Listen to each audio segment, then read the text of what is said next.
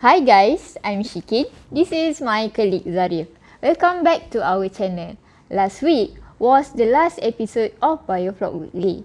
As promised, we will do a Q&A session when the series is over. We would like to thank you for the positive feedback and comments from the viewer. We already selected a few questions to be discussed in this video. The famous question that we are getting is the weight of shrimp that can be harvested. How many kilos of shrimp can be harvested in a 10,000 liter tank? How many kilos you can harvest in one biofloc, How many vaname seed stocking in a 10,000 liter tank? Density per meter cubic and many others. Many people are very interested to know more about this. All of these kind of questions are related to each other. Total weight or biomass during the harvest period depending on the initial stocking density. Usually, farmers will stock 2,000 to 2,500 post-larvae of shrimp in 1 meter cubic of water during the nursery stage. In the grow-out period, the shrimp can be stocked at 200 to 500 per cubic meter. The targeted harvest weight must be around 20 to 25 gram at the end of the grow out period. Okay, moving on to the next question. Can we convert sweet water to seawater? Hmm, actually, I am a bit confused. What does it mean by sweet water?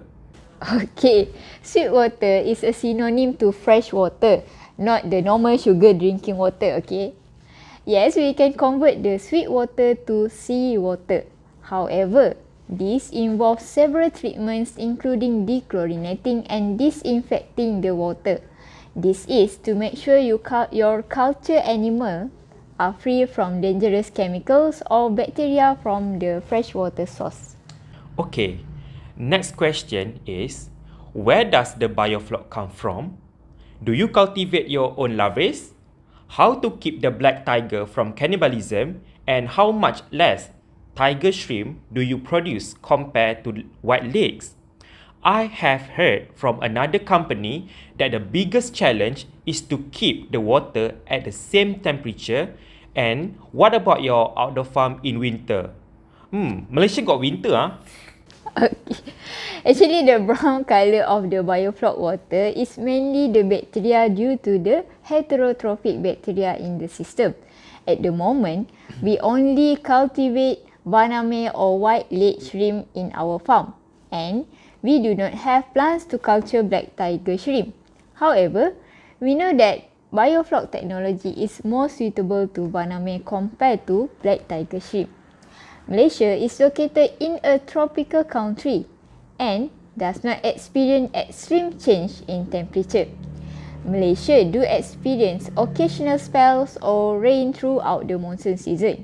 Having an indoor system also ensure that temperatures remain stable at 28 to 29 degrees Celsius. Oh, I see. Okay. Now, How about cultivated freshwater prawn which is udang galah with biofloc? Is that possible? Yes, it is possible. There are many studies that have been conducted on culturing freshwater prawn using biofloc technology. The studies reveal that the freshwater prawn can survive in biofloc water, but their survival rate was a bit lower than RAS technology. Oh, I see. Alright, the next question is, how do we how do we maintain CN ratio? For CN ratio, there are few things you need to understand. The protein content in your feed, amount of pellet need and amount of carbon need. To maintain this, you need to know what are the suitable CN ratios to operate your biofloc at. To maintain a constant CN ratio for the whole culture period, you need to adjust the carbon need based on your feeding amount. Okay, moving to the next question.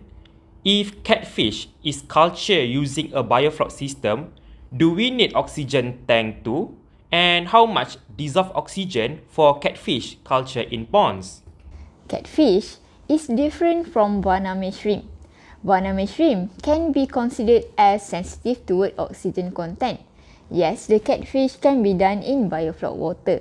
They can survive in low dissolved oxygen until 1 ppm, but the catfish can grow faster when the dissolved oxygen maintain above 3 ppm. Oh wow. Okay. Next question is there is any issue to use biofloc residual water in an open system to irrigate crops? We have never tried to use the residual biofloc water to irrigate crops as our biofloc culture water runs on saline water.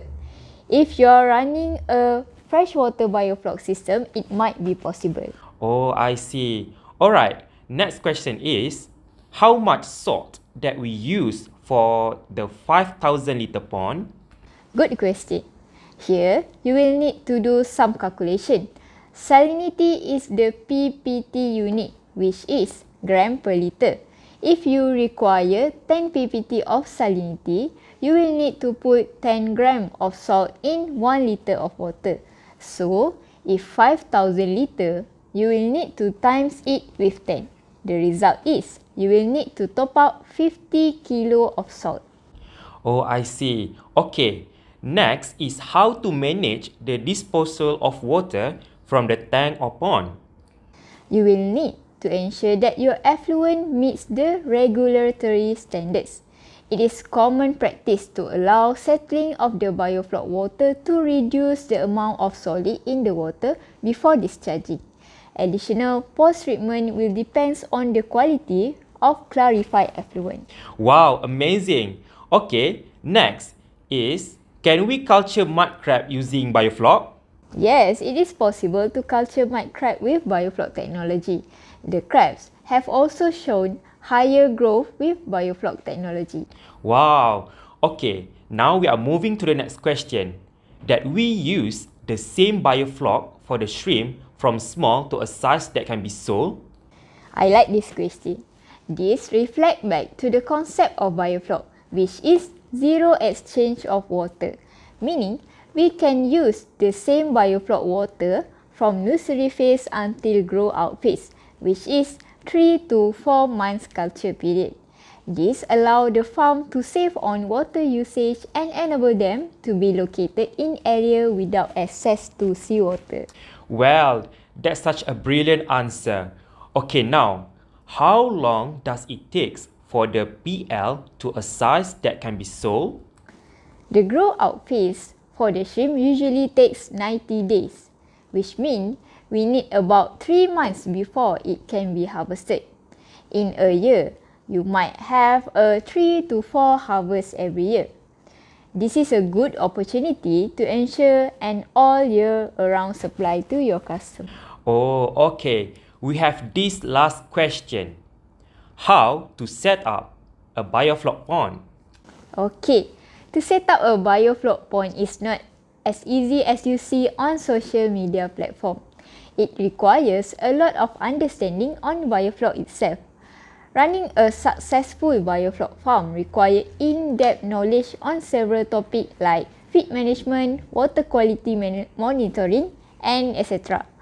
We do provide course on indoor shrimp farming using biofloc technology. In this course, we will help you to understand the concept and how to set up the biofloc. If you are interested, you can PM us your name, email and phone number. Wow, I think this Q&A session is full of knowledge even for me. There are so many things we are eager to share with our viewer. Do subscribe to our uh, YouTube channel and don't forget to give thumbs up if you like the content.